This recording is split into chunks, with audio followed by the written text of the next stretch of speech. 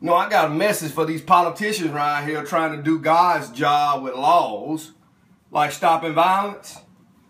They try to stop violence by passing laws to take away items that people could use to hurt somebody. For instance, guns. I have never seen one gun law that stopped violent crime. Even all these laws about all these guns that shoot so many times. Oh, let's get rid of all the guns that shoot 30 times. Okay, we're going to pass a law that gets rid of them. You pass a law to get rid of the gun that shoots 30 times. You know the only person that's going to get rid of the guns that shoot 30 times? People who abide by the law. You know what the criminal get, is, the criminal is going to do? He's going to go underground like they've been doing all along with drugs, and he's going to find him a gun that shoots 30 times so he can go hurt the person who gave away their gun to shoot 30 times. You see, when a person wants to hurt somebody, there's no law you can pass to get rid of that. So you pass a gun law. Get rid of my gun. Man, crime is gone. No, hold up just a minute. I ain't gone nowhere yet. So you pass another law to get rid of knives Crime going down. No, hold up. I ain't going nowhere yet. So you pass another law to get rid of screwdrivers, to get rid of crime. Crime going down. No, I ain't going nowhere yet. As long as I can find a piece of wood around the house, I can do some damage. Up, oh, let's get rid of all the tree branches and all of the wood, and the crime will go down. Up, oh, hold up just a minute. You must forgot about that stainless steel pot that the old ladies used to use across their husband's head. So what's the whole point? The whole point is laws do not get rid of crime. If you want to get rid of crime, you start where Jesus started. And where did Jesus start?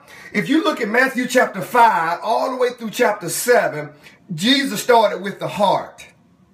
In Matthew chapter 5, for instance, let me give you one example. He was talking to the Jews about murder in Matthew 5, verse 20 through 23. And Jesus says, You heard it was said a long time ago, Thou shalt not murder. That's what you heard. People say, Don't murder. But Jesus says, I say unto you that if you are angry with your brother without a cause, you're in danger of the judgment. You see what he was doing? He was telling those people they need to get away from the actions because the action is not the problem. Get away from the weapons because the weapon is not a problem. Get away from the stick. Get away from the knife. Get away from the gun because these things are not the problem. The problem is this right here. And if you want to minimize and reduce crime, then let's spend time focusing on transforming this right here. If all of our politicians and all of our so-called civil rights leaders would spend more time going into the schools, going into communities, and having sessions in which they're trying to build families up. Teaching fathers how to be good fathers, teaching mothers how to be good mothers, helping struggling parents to know how to be a good parent even when you're struggling, and start putting some integrity and some decency and some stability within our communities and getting rid of the immorality and trying to place it with that which is good, then you will start seeing a transformation in the mind of young people. But until then, there's not one law a politician can pass that's going to get rid of crime. Jesus says, stop focusing on the outside and focus on the inside. Because everything that proceeds to the outside starts on the inside.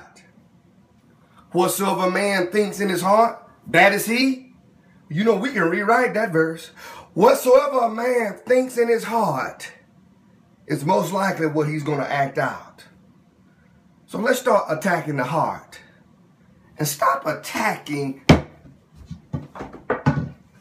Miss Lucy May Frying Pan. Because Miss Lucy May Frying Pan ain't never killed nobody. This gun ain't never killed nobody. You know who killed somebody?